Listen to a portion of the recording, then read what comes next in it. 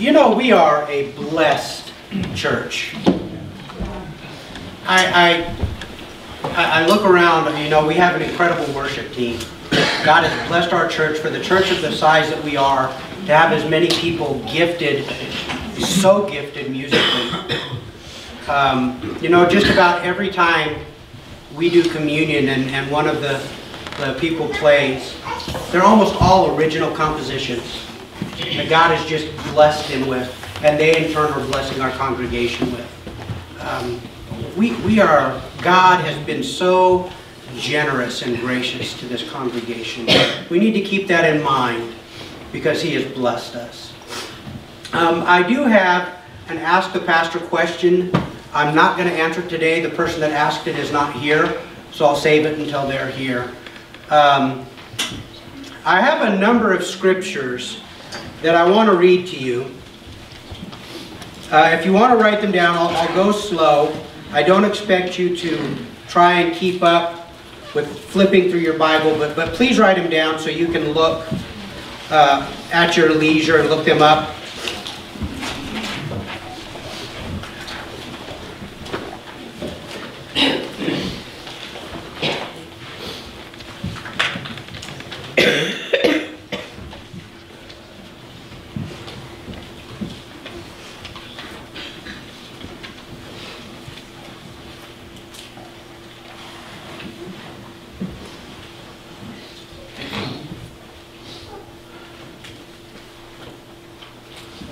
Jump around. There's, there's a number of points that I want to make. Um, before we get into today's message, there's, there's a, a subject that I feel like needs to be addressed. Uh, 1 Timothy chapter 4, Paul is writing to Timothy, and he says, Keep a close watch on yourself and on the teaching. Keep a close watch. Look intently at your life and, and at what you're teaching. Persist in this. Press in on this. Keep doing this. For by so doing, you will save both yourself and your hearers. No, Paul's not telling Timothy that if you keep a close watch on yourself, you'll somehow save yourself. We know there's no salvation apart from the cross. But if he's watching his teaching, he is going to be preaching the cross. He's going to be teaching those things that are in line with God's will and His Word. Proverbs uh, 30, verse 5. Proverbs chapter 30, verse 5 says, Every word of God proves true. Another translation says, Every word of God is pure. Now, we have the Word of God, don't we? What God saw fit to give us, this is sufficient. This, this was enough. You know, God, there's no way this could contain everything. God is infinite. John even writes at the end of his gospel that if he tried to include everything that Jesus did in just the ministry that he had here on this earth, there wouldn't be enough paper to cover it all. So this, this is not everything. It's enough. It's enough. Paul writing to the Colossians, chapter 2, verse 8.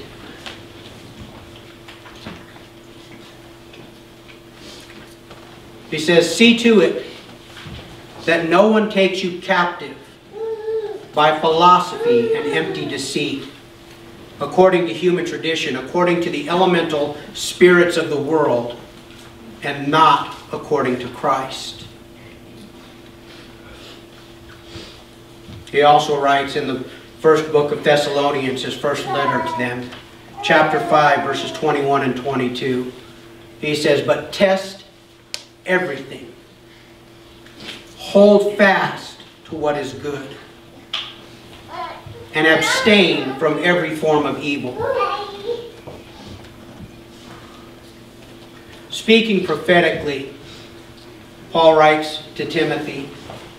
There's two passages that I'm going to read. Um, 2 Timothy chapter 3, verse 1 through 7. He says, But understand this, that in the last days there will come times of difficulty. For people will be lovers of self, lovers of money, proud, arrogant, abusive, disobedient to their parents, ungrateful, unholy, heartless, unappeasable, slanderous, without self-control, brutal, not loving good, treacherous, reckless, swollen with conceit, lovers of pleasure rather than lovers of God. Now here's where, where I, I really want to draw your attention. Having the appearance of godliness, but denying its power.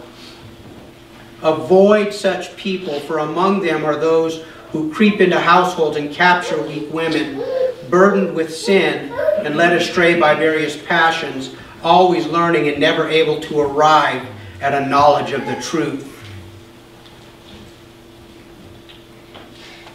Later in chapter 4 of the same book, verses 3 and 4, he says, For the time is coming when people will not endure sound teaching, but having itching ears, they will accumulate for themselves teachers to suit their own passions, and will turn away from listening to the truth and wander off into myths.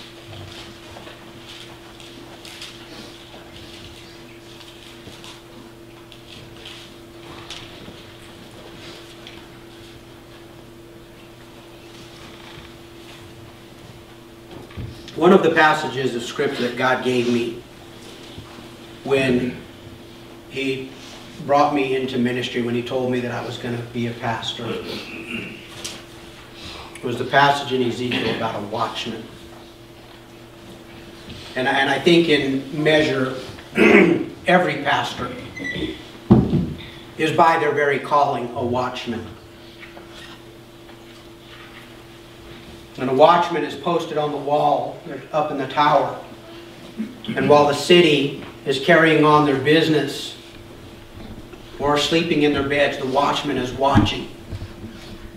And he takes note when somebody comes to the wall. And his job is to give warning. His job is to give warning. It's not his job to make the people respond. It's his job to give warning. If he fails to give warning, the blood of the people is on his head. But if he gives warning and the people do not respond, their blood is on their own head. So this morning, I, I had several people ask me a comment. I posted a thing on Facebook uh, Thursday, Friday, I don't remember which day, the movie The Shack came out. And I, I want to address why I will not be seeing this movie and why I am encouraging you not to see this movie. Okay? The, the article that I posted um, lists 13 heresies. Heresies. Do you understand what that word means? This is something that speaks in direct contravention to the Word of God, claiming in some manner to be under the auspice of God. For example, one of the heresies of the, the church was tritheism. Uh, this is a heresy that pops up periodically. Uh, even even a few years ago, this was was was uh, in the church in in the prosperity movement. The idea being that God the Father, God the Son, and God the Holy Spirit are three unique individuals, which they are. That's Trinity, Trinitarianism. But that they are unique unto themselves, each having their own body, their own soul, their own spirit. That's tritheism. That is not what Scripture says. Scripture says that God is spirit. He has no body such as we do, no corporal form such as we do. So, so a heresy is something that is proclaiming to be true and yet is not. Okay? Now, I read The Shack. Uh, it was given to me by my brother, who thought it was a very good book. I read the book, and, and uh, without a doubt, it deals with a gut-wrenching, heartbreaking, emotional subject. But I want to caution you today, we cannot be swept up in gut-wrenching, heartbreaking, emotional things. Especially when those things weave insidiously in the telling lies and heresies. I read those scriptures because this is just a shadow of what is going on. The shack is purported, it was distributed to, targeted at Christian audiences. And yet the things that it proclaims in its writings are contrary to what Scripture says. They fly in the face of what God has said to be true in the holy writ of His Word. People say, well, it's just an allegory. No, it's not an allegory. When God gave us the original Ten Commandments, He said, You shall make no graven images of me. None. There's a reason for that. One, because we could never put into image what God is like. He is unique among all things because apart from God, everything else is created. He is uncreated. He is the eternally self-existent one. And what could even the greatest artisan create that would not in some way diminish God? The book, the movie, anthropomorphizes God. It puts him in a, the Father in a bodily form. Scripture says we don't do that. As a matter of fact, I want to read a passage out of Romans chapter 1. Turn with there with me if you would. Romans chapter 1.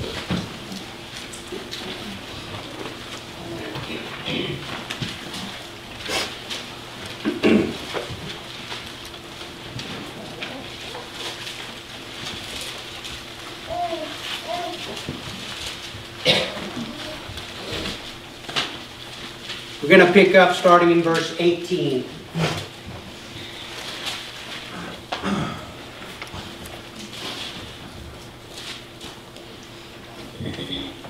For the wrath of God is revealed from heaven against all ungodliness and unrighteousness of men, who by their unrighteousness suppress the truth. Did you catch that?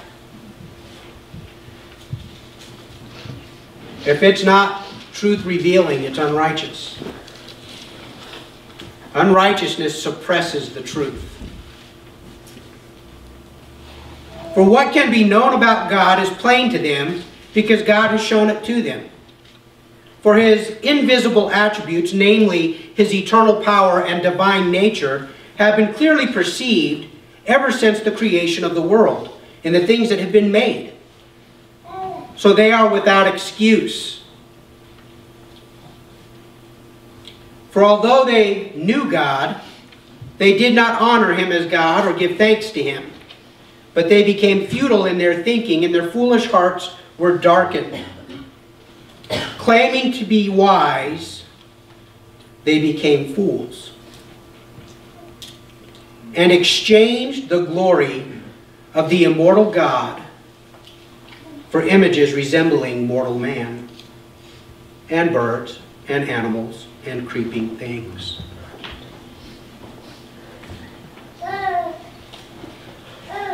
Claiming to be wise, they became fools and exchanged the glory of the immortal God for images resembling mortal man.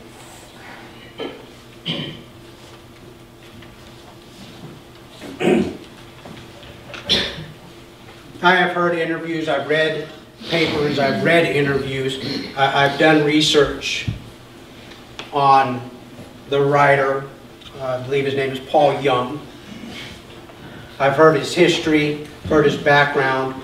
Uh, it grieves my heart to know that when he was writing this book, the two characters that he said represented himself were Mac and the little girl who was killed. And it grieves my heart to know that he would suffer such hardship that that's how he would see himself. However, that does not excuse what he chose to write. First, God has said in his word that he is invisible, that he is spirit, that, that we cannot in any way and should not in any way try to make an image of him. The book has done this. The Holy Spirit. They didn't call it the Holy Spirit because it was something other than the Spirit. The Holy Spirit is a spirit, not a little Asian woman. God has said in His Word that there is an order, there is a hierarchy to the way He does things. It says that God is a God of order. Jesus said that He was sent of God, that He submitted Himself to the will of the Father.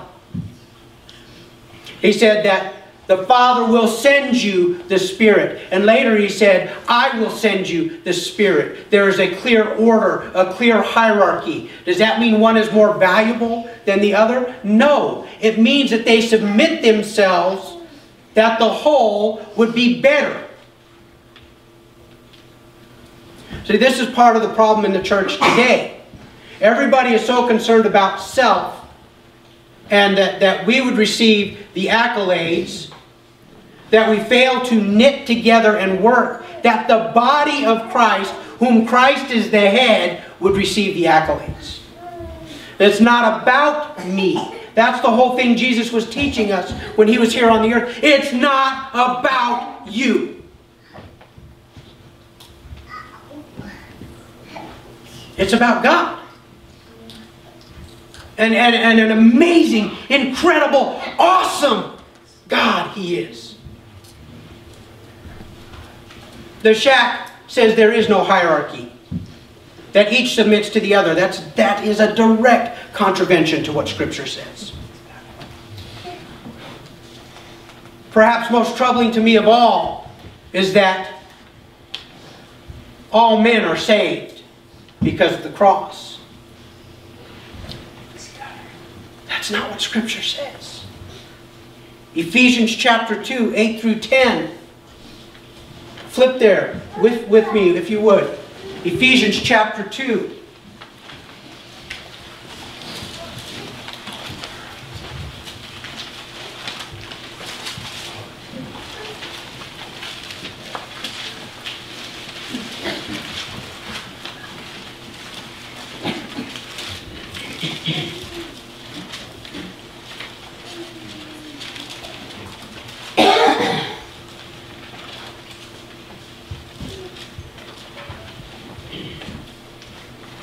Writing under the inspiration of the Holy Spirit. He says, For by grace you have been saved. And if we stopped right there, there could be some validity to what the shack is saying. By the way, just, just as a point of reference, the book is not called The Shack. Did anybody read the title? It's The Shack Uncovered. Everybody calls it The Shack. That's not the title. Just point of peeve. Thank you for that little segment. Getting right back.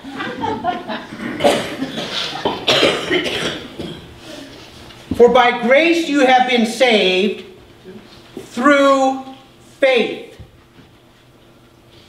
And this is not your own doing, it is the gift of God, not a result of works, so that no one may boast.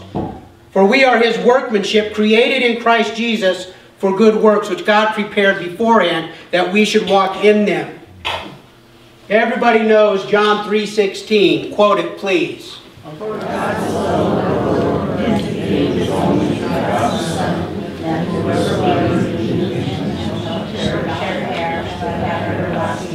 Who has everlasting life?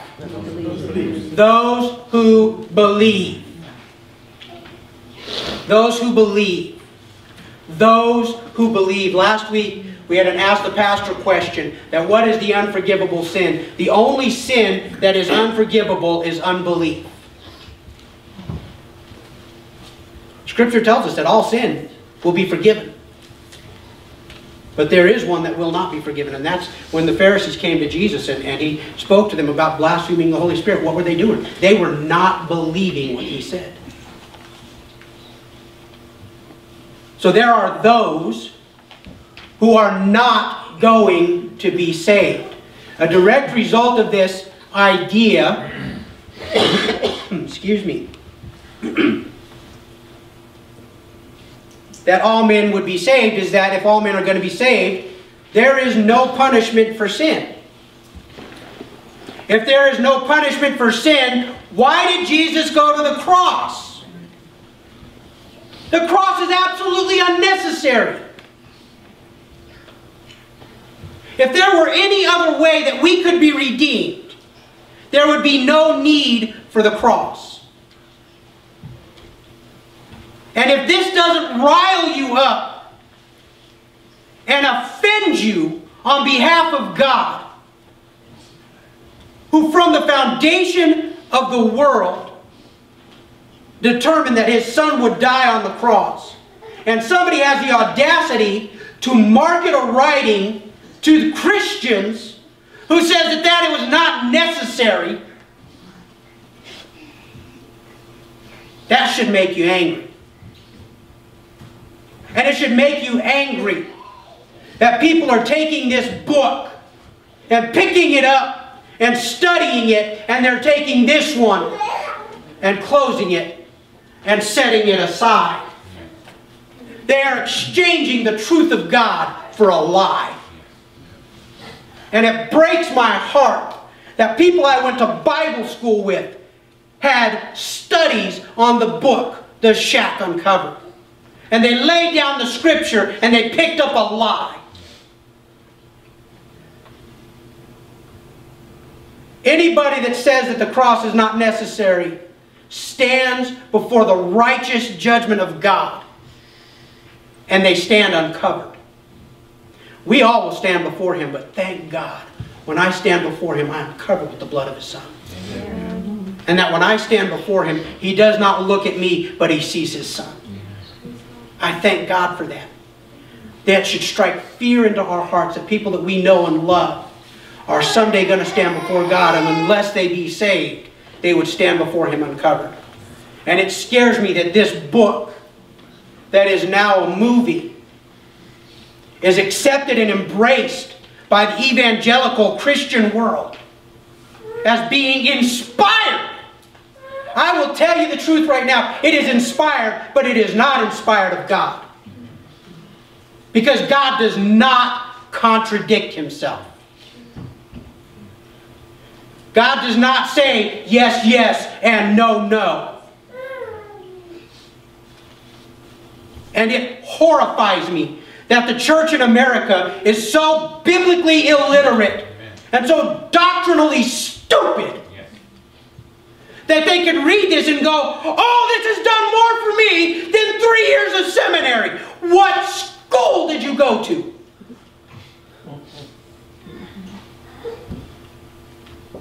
It makes me shake with fear that Christians think so little of the truth of God and His Word that they poo-poo the discrepancies. Do you think God poo-poos the discrepancies? Do you think God is willing to overlook that this is being called a lie? God help us. God help us. That in the generosity that He has poured out on us, we have become so lazy and so ignorant that a lie can so easily throw us off track.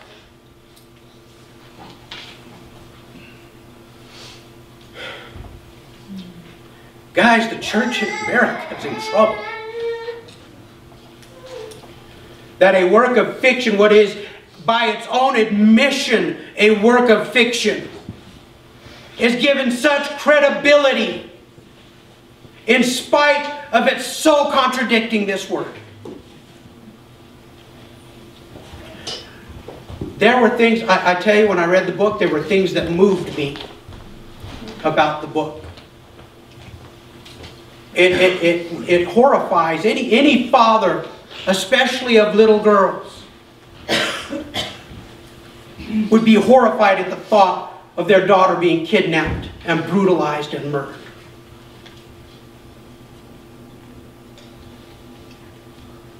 That's, that's gut wrenching. And anybody in their right mind could not help but be moved that God would intervene directly to heal this father.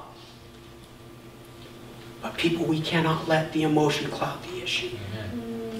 We cannot let the tugging of the heartstring cloud the reality and the truth of what God says. Mm-hmm. We have got to know His Word so that when heresy rears its ugly head, we can be quick to strike it down. That we would not be, the Word says that in the last days, if it were possible, even the elect would be deceived. That's how bad it's going to get. That's how desperate it's going to get. It's going to be hard to tell the truth. And if you are not so knit up into this word and have it so ingrained into your thinking, into your heart, into your life, it is going to be hard to discern truth. So I will not be seeing the shack. I am encouraging you. I'm encouraging you. Don't go see the shack. Don't support this kind of Christian money making. There are movies that are much more worth your money. There are so many things that are coming out now. Hollywood has finally realized, hey, Christians want good moral stories. You want to go see a good movie? Go see Return to Zion. You guys don't even know what that is, do you? That's the, that's the movie Nick and the, the Backwoods Boys just finished making. It'll be out, what, March 9th? what? April. April 9th. April 9th. So, um, but, but, I, I just, I, I, people, if I fail to give a word, I am responsible before God. I'm responsible before God. And I would rather stand up here. Whoa. Catch me, Tim. and give warning and find out, nope, nope, nope, they're friends. They're friends. It's okay. Then stand down there and go, well, I think they're okay. And find out that somebody stumbled and fell. Amen? Amen.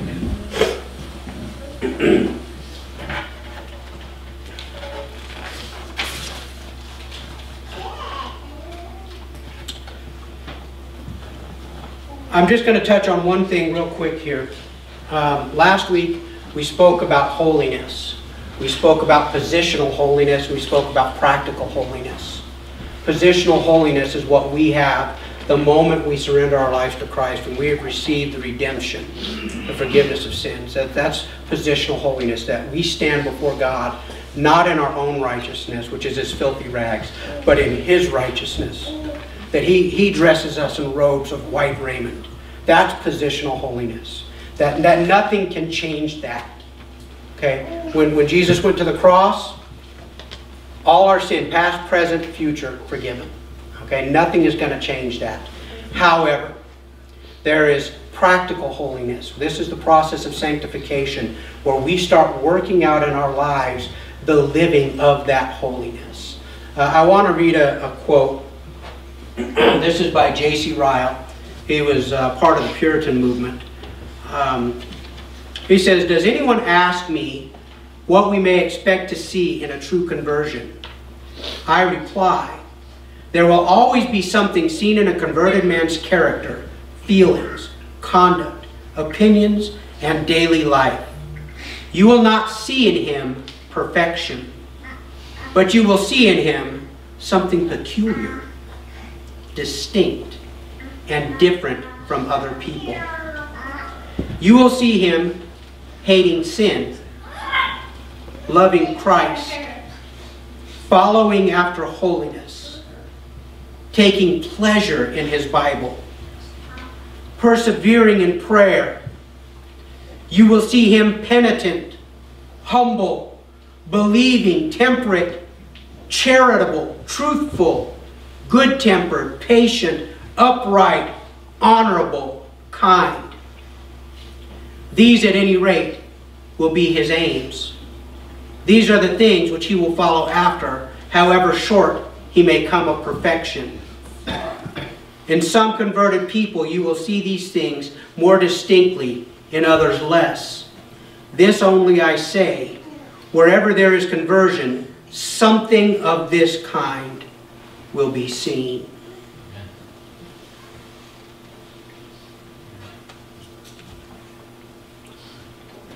Folks, God has called us to a life of holiness. What, what is holiness? First, we need to understand that God is holy. Holy is the only word that we can really use to describe Him because He is so unique. He's different from everything else. His, his righteousness is absolutely perfect. He has never sinned. He is incapable of sinning. He is unique. He is separate. Okay? And when he calls us, he calls us to be holy as he is holy. Now, positionally, we know that holiness comes only through the blood of Christ. Only as a direct result of the cross. That's positional. But practical, the practicing of holiness is something that we never stop doing. He has sent us His Holy Spirit. He has gifted us with His Holy Spirit. That the process of holiness would be ongoing. But see, here's where we come to a dilemma, folks. In order to be unique like God, we cannot be profane like the world. We can't be the same as they are because we are no longer of them. We are different. God has called us and pulled us out. We are no longer profane. We're no longer common. We're no longer unholy. But we are separated unto holiness unto God. And we walk in that holiness. Now that's not to say we're not going to stumble. Scripture says we're going to stumble. Okay? But we don't continue stumbling just because we are. We never reconcile to ourselves, this, this is just the way it's going to be. That's a lie. If that were the way it was going to be, He wouldn't call us to practice holiness. There would not be a process whereby we would become holy. Folks, if there is a place in your life that you have just thrown up your hands and said, well, this is the way it is, and it is contrary to holiness, it is contrary to what God says, if it in any way resembles what the world has accepted as true, get on your face before God. Cry out. Call out to the Almighty God. I think of David when he sinned with Bathsheba. David, a man after God's own heart, and he blew it as big as you can blow it. Because not only did he, did he commit adultery, but he compounded it because he tried to put the blame or the credit at Uriah's feet. And when Uriah proved to be a more righteous man than he was, he had him killed. And so in an effort to hide and maintain his self-righteousness, he became a sinner. And I think about him when Nathan came and confronted him. And he told him, you are this man. And the Spirit of God fell on him. And he rent his clothes and he wept and he would not eat. And the punishment, he was going to lose his son. And he wept before God. He refused to eat. He fasted and he prayed. But when the son died, what did he do? He got up and he cleaned himself up. And they said, What is this? And he said, I had hope that while, while the child was alive, God might relent in his anger. But God has taken him, and I will see him again. See, David just didn't give up in despair and throw his arms up and say, Oh, well. No, he had a hope greater than that. He had a, a, hope that was and is being fulfilled because he knew that at some point he would be with his son. So, people, I want to challenge you today. We all have areas that we struggle with, every one of us. But we cannot afford to reach an accommodation with sin. We cannot look, act, and be like the world. We have got to be different because God has called us to be different because God is different. And we're His. Father, I bless you this morning. Father, you have not given us a charge and then left us alone to accomplish it. You say that you've given us everything we need that pertains to godliness, righteousness. You have given us your Holy Spirit that convicts us of sin, that teaches us your word, that reveals to us those things we need to know. Father, you have created the body of Christ so that we could help one another, that we could share each other's burdens. That, Father, we might even exhort one another, turn each other away from sin. That those who are strong would strengthen the weak.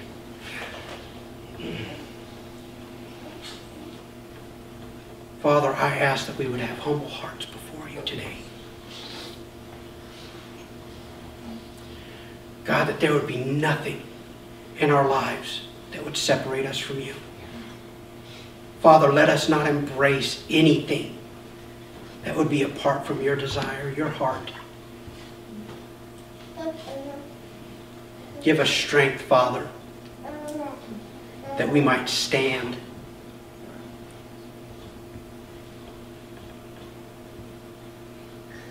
We honor you this morning, Father, in Jesus' name.